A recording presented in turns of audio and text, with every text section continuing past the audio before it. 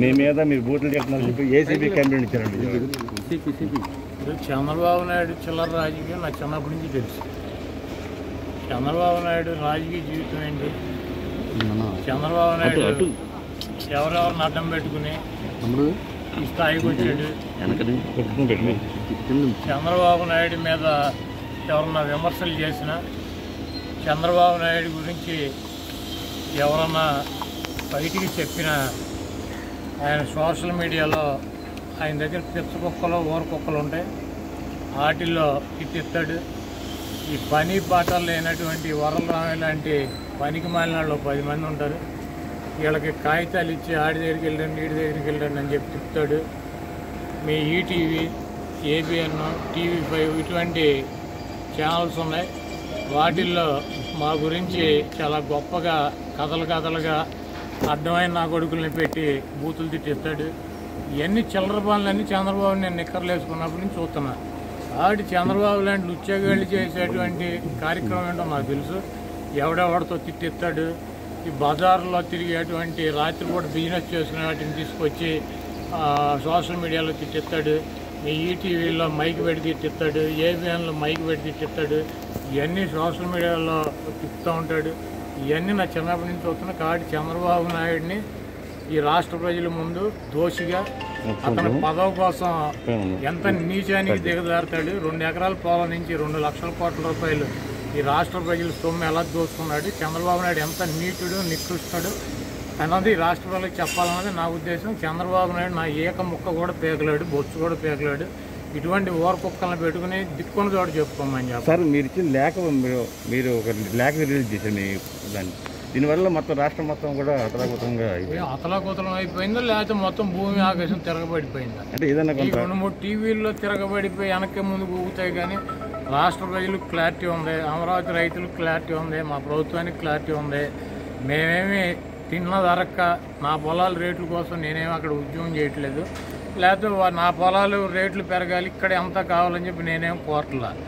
నేను ఈ రాష్ట్ర ప్రజలు పేదల దృష్టిలో పెట్టుకుని వాళ్ళకి ఇళ్ళ పట్టాలు ఇవ్వడానికి అభ్యంతరం చెప్పొద్దు. మీరు కోర్టుల్లో కేసు విడ్రా చేయండి. లేని పక్షంలో ముఖ్యమంత్రి గారికి చెప్పాను నేను. ఇటువంటి చోట పేదలకు ఇళ్ళ పట్టాలు ఇవ్వడానికి అవకాశం లేనటువంటి రాజధానిని రాజధాని కంటిన్యూ చేయడం మంచి పద్ధతి కాదు. కాబట్టి దాని మీద ఆలోచించండి నిర్ణయం తీసుకోండి అని చెప్పి ముఖ్యమంత్రి గారికి చెప్పాను దీనివల్ల ఇరవై తొమ్మిది గ్రామాల సమస్య గురించి అదే రాష్ట్రం అతాకుతలం అయిపోయింది రాష్ట్రం వెనక్కి ముందు ఊగిపోయింది ఏం వాళ్ళ రాష్ట్రం బ్రహ్మాండం. కొన్ని చోట్ల స్టే ఇచ్చారు ఇంకొన్ని చోట్ల ఇచ్చేవచ్చు కదా సార్ ఎందుకని ఇవ్వడానికి అడుగుతున్నా ప్రజలు. ఇదే కదా అతికి తెలివితేటలు. ఈ తెలివితేటలు ఏంటంటే రామోజీ గారికి రాధాకృష్ణ గారికి బిఆర్ నాయుడికి ఉన్నాయి అనుకుంటారు ఈ రాష్ట్రంలో మిగిలిన వాళ్ళందరూ పిచ్చోళ్ళు మనం ఏం చెబితే అదే చూస్తారు మనం ఏం చెబితే అదే వింటారు అన్నటువంటి పిచ్చి భ్రమంలో బతుకుతున్నారు. మేము చాలా స్పష్టంగా చెప్పాం. ఏం చెప్పాం? పేదలకు ఇచ్చేటువంటి ఇళ్ళు కానీ పేదలకు ఇచ్చేటువంటి స్థలాలు కానీ వాళ్ళ పేర రిజిస్ట్రేషన్ చేసి ఇస్తామని చెప్పాం. హైకోర్టులో ఏం కేసు ఇచ్చారు? పేదలకి రిజిస్ట్రేషన్ చేసి ఇవ్వటానికి వీల్లేదు. సింగపూర్ కంపెనీకో మలేషియా కంపెనీకో లేకపోతే కోటి రూపాయల పొలం ఐదు లక్షలకో మూడు లక్షలు అర్థమైన వాళ్ళకి కంపెనీల వాళ్ళకి ఇచ్చేయచ్చు. పేదలకు ఇచ్చేటువంటి అసైన్ ల్యాండ్ సెంట్ ఇచ్చినా లేకపోతే చంద్రబాబు నాయుడు కట్టించారని చెబుతున్నారు కదా ఆ బిల్డింగ్ ఇచ్చినా కూడా పట్టా ఇవ్వటానికి లేదు రిజిస్ట్రేషన్ చేసి ఇవ్వటానికి లేదు వాళ్ళకే అసైన్ చేసి ఇవ్వాలని చెబుతున్నారు. ముఖ్యమంత్రి గారు ఏం చెబుతున్నాడు? వాళ్ళకి మహిళల పేరు రిజిస్ట్రేషన్ చేసి ఐదు సూత్రాలకు అమ్ముకునే హక్కు కల్పిస్తానని చెప్పారు. కోర్టులో ఏం ఆర్డర్ వచ్చిందో రాష్ట్ర వ్యాప్తంగా రిజిస్ట్రేషన్ చేయడానికి రాష్ట్ర ప్రభుత్వానికి హక్కు లేదు. కాబట్టి చంద్రబాబు నాయుడు లాంటి సన్నాసులు వేసినటువంటి కోర్టు కేసును పరిగణలోకి తీసుకుని కోటాను కోట్ల రూపాయలు జడ్జిలకి లాయర్లకి ఫీజులు ఇచ్చి మరి ఈరోజు స్టేలు తీసుకొచ్చారు. తీర్పు ఏం రాలా? ఇవ్వద్దని చెప్పి.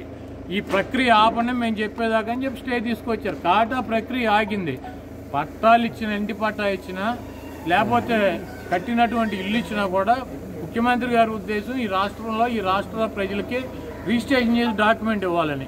కోర్టులు ఈ ప్రక్రియను ఆపమన్నది కాబట్టి ఆపాం కాబట్టి ఊరిని అతికి తెలివితేటలో ఈ చ- ఇది సోషల్ మీడియాలో మీ మూడు నాలుగు ఛానల్స్లో ఈ హాఫ్ నాలెడ్జ్ ఉన్న మేధా మేధావులను పెట్టి అయ్యవచ్చుగా అయ్యవచ్చుగా ఏంది ఇచ్చేది? ఏంటి మొత్తం ఆగింది స్టేట్ వైడ్. ఊరినే నాలెడ్జ్ లేని హాఫ్ నాలెడ్జ్ వాళ్ళని పెట్టుకుని చర్చలు పెడితే ఇట్లాగా ఉంటుంది. కాబట్టి నాలెడ్జ్ ఉన్న వాళ్ళని దీని మీద అవగాహన ఉన్న వాళ్ళని పెట్టండి.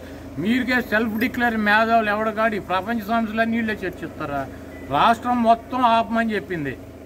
రిజిస్ట్రేషన్ చేయటానికి వీలు లేదు. రిజిస్ట్రేషన్ చేయొద్దు. ఓన్లీ పట్టాలు ఇస్తే ఇవ్వండి. అన్నారు ముఖ్యమంత్రి గారు ఏమన్నాడు? ముప్పై లక్షల మందికి రిజిస్ట్రేషన్ చేసి తీరుతామని చెబుతున్నారు. ఐదు సంవత్సరాలకు అమ్ముకుని అమ్ముకునే హక్కు ఇస్తానని చెబుతున్నాడు. ఆ ప్రక్రియ ఇవ్వడానికి లేదు మేము జడ్జిమెంట్ చెప్పేదాకా స్టేటస్ కో ఇచ్చారు. చేయొద్దని. ఆ స్టేటస్ కో మీద ఆగి ఉంటే నేను కట్టిన ఇవ్వండి నేను ఏంటి ఇటు కట్టిందండి? మేము ఇచ్చేది ఏంటి? చంద్రబాబు నాయుడు? వేస్ట్ గైడ్ ఆ వేస్ట్ చంద్ర పొద్దున్నే నేను బయటికి వెళ్తాను ఈ వేస్ట్ గైడ్ గురించి ఇక్కడ టాపిక్ అవసరం న్యూసెన్స్ గైడ్.